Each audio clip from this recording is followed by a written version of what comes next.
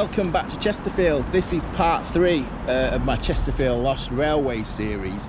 Um, we're by the Midland Railway because the line that we're going to be exploring today was um, one of the branches of the Midland Railway. We're going to be having a look at the Brampton branch.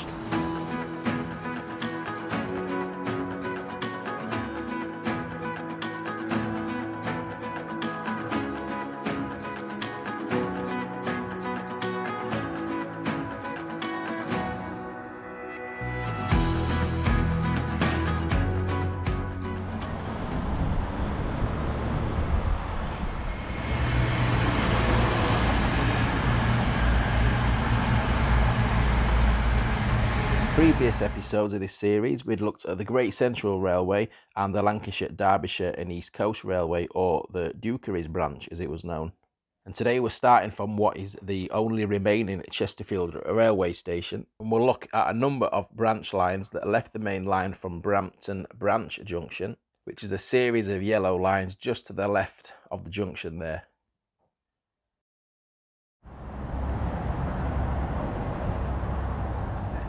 So we're at the point, that's the main railway line through Chesterfield just there. We're just to the south, yeah, the south of the station. Um, we're at the point where that Brampton branch left the main line here. Now there's a buffer stop here. I think that's where, um, as far as the branch goes, shall we say, these days. Uh, and as Phil's just pointed out, there is a rail. A bit closer rail down there, look, still in place.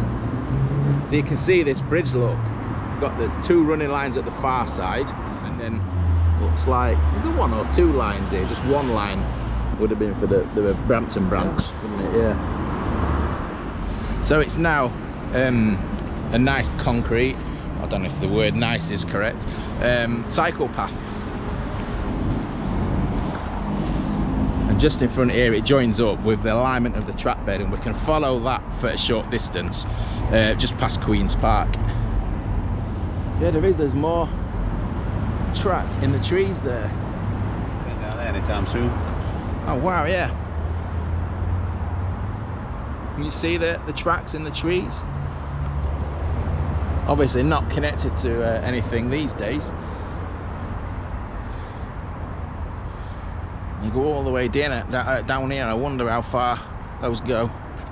Comes really close to the fence here look.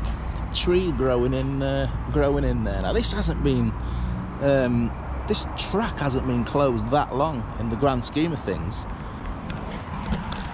Uh, compared to the, some of the other um, Chesterfield Lost Railways. I think it was it at, uh, oh, I have to get my sheet out here. Was it the 80s or 90s um, that they stopped using this. Point, is that point work? That's the point where it shot right and then one went down to Buff I think. So we're starting to come off to right, it's going to join this path here isn't it? Well, would have done it, it just fizzles out in a second. See the wooden sleepers? Just in amongst the grass there, look. Being at the side of the railway, you'll commonly find um, fruit plants, fruit trees, uh, blackberry bushes all the way down here. Nice tasty free snacks. Seasoned with the aroma of the A61 there. Uh, right. Phil, yeah. The occasional sprinter.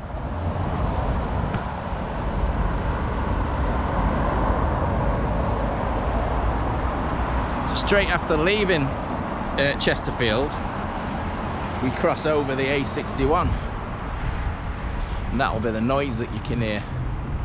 Now in episode one we looked at the Great Central Railway and that's just, we think, just around somewhere over here to the left before it went through Bridge. So this bridge was only put in in the 1980s, so quite late on in this life, uh, this line's lifetime, because this is when the A61, um, the Chesterfield A61 Relief Road was built. Um, which you'll know all about if you watch part one of this series. And we've got three bridges in quick succession now. Um, I think this next middle bridge is, this is an older bridge. It's got a new top on, but if we get down underneath, we'll see all the old abutments uh, from the old road.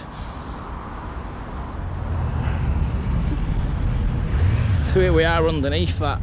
It's the original bridge, but it's got a new top on it. It's not the original railway bridge like the other two. What's BGH stand for then? Well, the times I've looked at these identification plates and tried to understand any of them, well, I don't know what any of them are. Brampton Goods, no, H. It's Horns Bridge, straight in front. You can't see because of this footbridge is in the way, but you can see the old Midland Railway. That's the only one that's left in Hornsbridge Uh, and we covered that in part two of this series.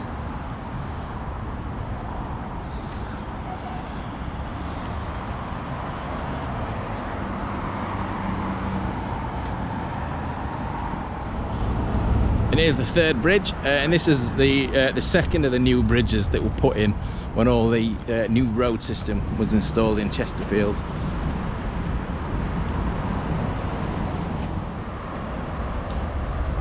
It's a very well used um, trail this, linking um, various sections of Chesterfield. We're still on the track bed.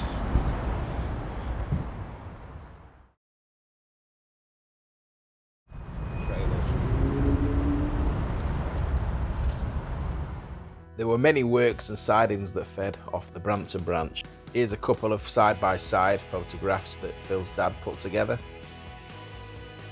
I believe the large buildings you can see on here is the old tubes factory that was just off Derby Road.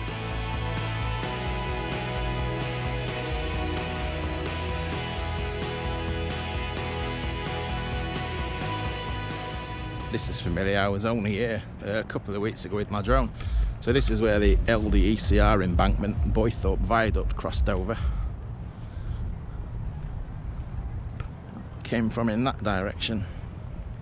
So under the Boythorpe Viaduct, the line split, and a branch veering off to the left went up the Boythorpe Incline, up to the site of the former Boythorpe Colliery. It looks like Boythorpe Colliery closed at the turn of the 20th century, and there's no remains of this line or the incline left these days. So it's roughly going off here is that where that Boythorpe incline was up to all the works up there. I mean it's unrecognisable isn't it mm-hmm. Phil these days to, to think that there was that huge embankment and viaduct just in the middle of this opening.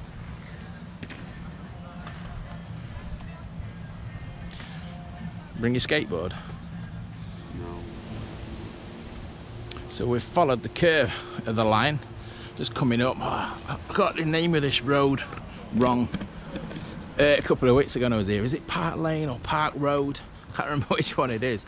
Um, but there's a photograph of the level crossing by the cafe just down here. We'll try and get the exact location uh, of what it looks like today.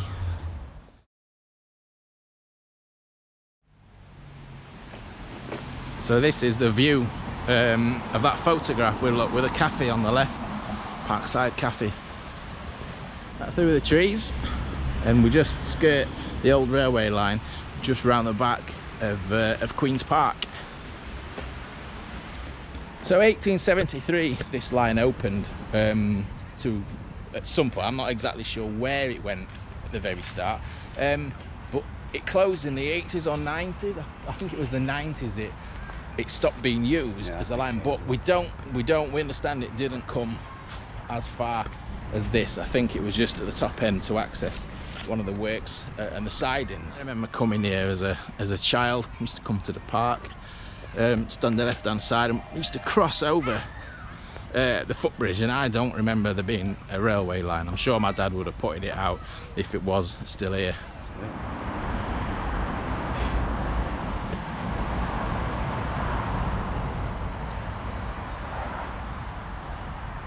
well, don't forget that original footbridge, Phil. They built Markham Road um, Oh, yeah, on that side, yeah. it? Yeah, true. So they probably had to Wouldn't have been double as up long that. bridge, I guess, in them days, because you wouldn't have to cross that carriageway there, would you? No. At some stage, uh, some stage in front, the line splits. That's right. There's a left Yeah. fork in there in a minute that shoots round there. And then over to the right to the uh, to the gas old gas works. Right. found, found some remains. Yeah, it's just the branch to the engine shed, isn't it? That it's the Queen uh, Queens Park Miniature Railway.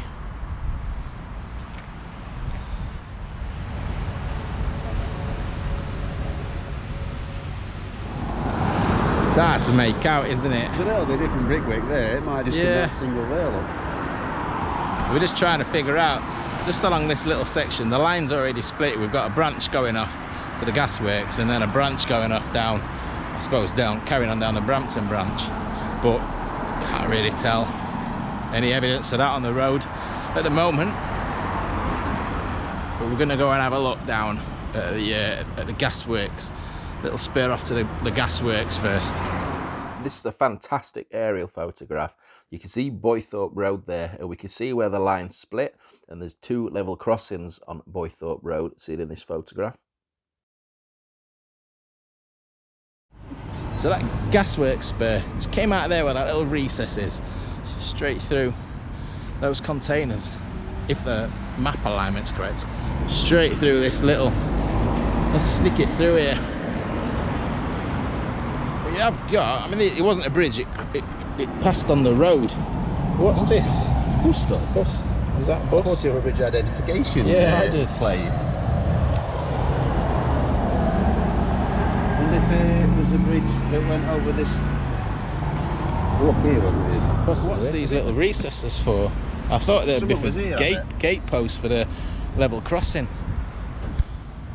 Possibly. There is a photograph. Um, I don't know if it's this one or the one just there, just the one slightly further up. There is a photograph of a, a train going through that crossing.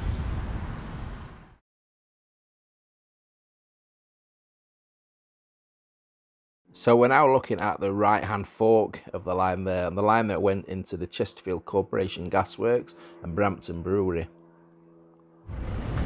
Gonna get across this road now because we're going over to where that archway is, entrance to the gasworks.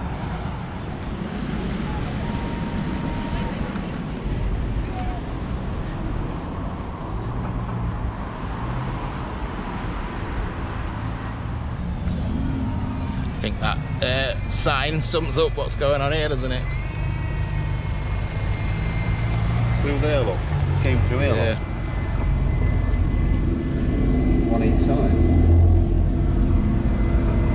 They them on the other side? There must have been something on the other side to fix them.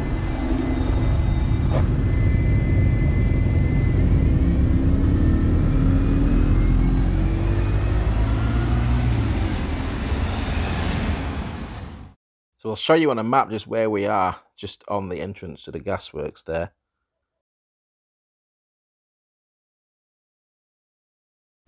Is that, Yeah, is it the water? We've got water blowing. Uh, yeah, that's the uh, that's a little river behind there, isn't it? little sign here. It's just answered the question we've just been wondering, actually. Flows into the Rother. Right, yeah. Don Humber, North Sea. That's answered the question there.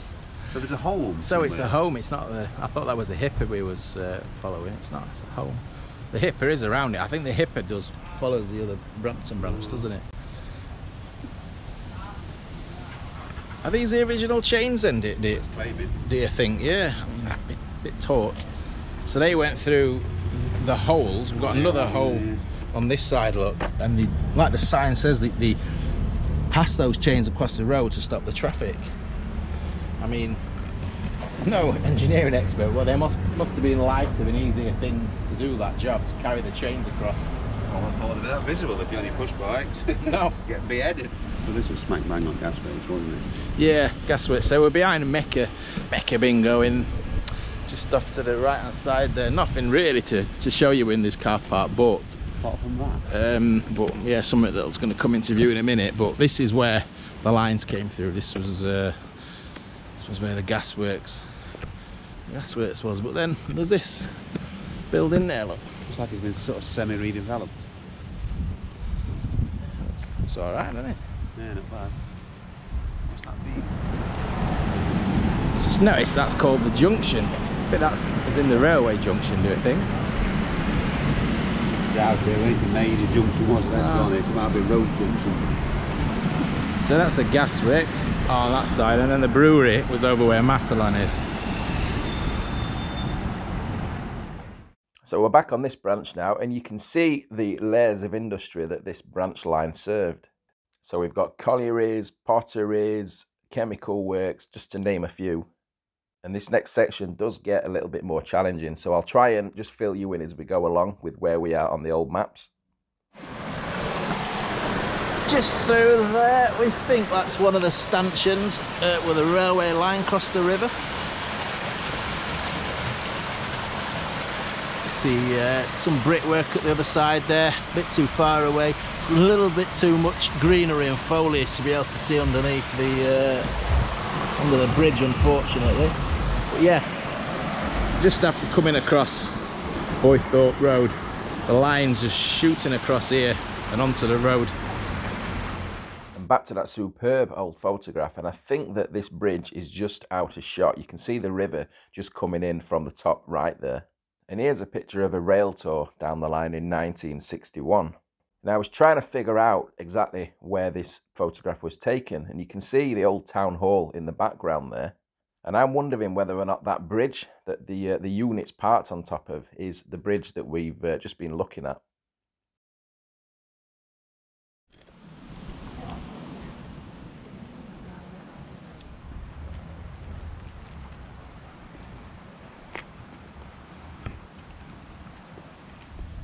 That's the old Robinson's place, isn't it? There's a blue plaque there. It's a building known as Cannon Mill, one of the oldest industrial buildings in Chesterfield.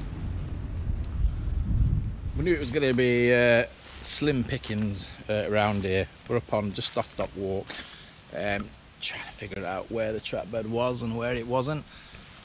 It's a boundary post, we think.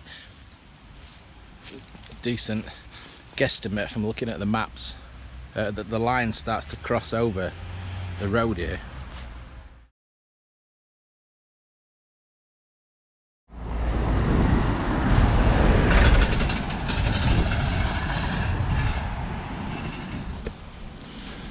It's a big old gate post here. Well, it came over here somewhere. So, I don't know whether the leaf will have crossed or not. I don't know. It's going just through there. There's the border wall, right. That's where it's going now. Straight in front there. Yeah.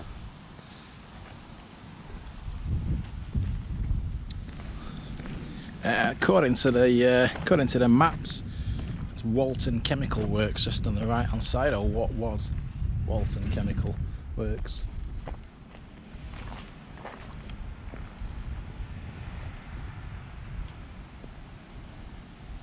Nice little bit of art um, on the fence for Sunoco.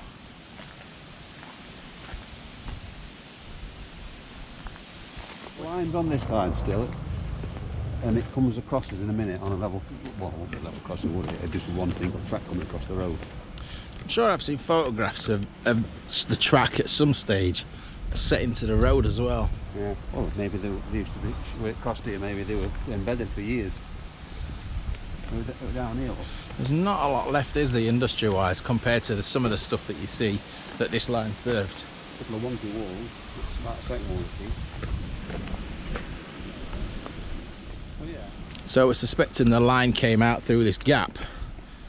Do we where the, the walls and straight across, maybe where the gap is over the other side there as well. We'll go and see in a moment.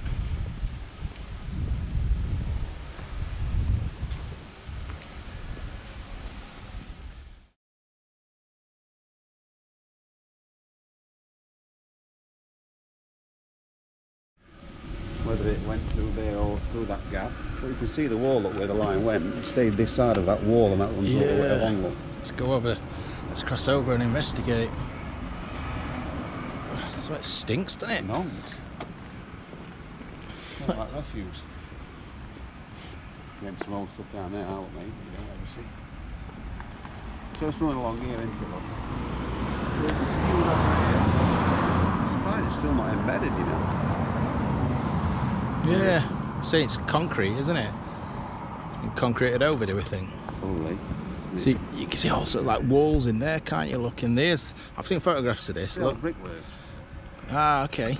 The entrance to brickway, could have been here. They just haven't, you know, just because there's a little line going across doesn't mean, you still can't the whole entrance be here, you know. Yeah.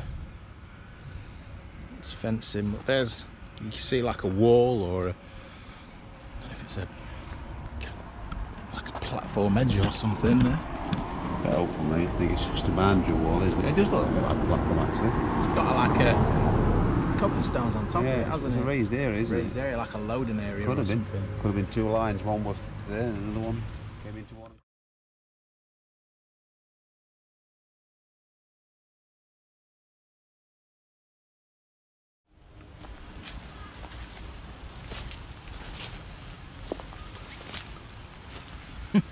Actually, if, if them trees went there, that'd be a reasonable shot of a track bed, wouldn't it? Yeah. Straight through there. You see the edge of the platform. Well, actually, it's still coming alongside of us here, isn't it? Look, well, what we're assuming to be a platform. So it's all this broken glass. Yeah, but somebody walk, might walk here in 2050 and this might not be at all then. You've got to remember that every generation there's changes, isn't there? Yeah. So we they might be gagging for something like what we've just seen there in, in 30 years. Well, exactly, and I have. There is there is instances of things that I've made videos of over the last few years that aren't no longer there. Yeah. So yeah, It bends round where this path meets up there. So this has been a few developments since the line took up, hasn't it? Still got an old feel about it, look. yeah, it's got like a little loading wharf. So that's about as far as, as we're going to follow the line up here. We're just going to go down this little footpath. Um, I'm going to have to check all these names and things, um, cross-check it with other, other maps when I get home. But I've got this one on the right-hand side. This there's an old field pottery. And that's where the line, the very end of the line came. Ran in here somewhere. It's a little bit desolate wasteland. It's I would I would say this area as a whole is in dire need. Yeah, regeneration. Bottom end, isn't it? Definitely. Especially how when you think that it looks quite nice from Chatsworth Road, just through there. And All this behind it. Even seagulls are tourists, look. there we go. Yeah. Where's he off?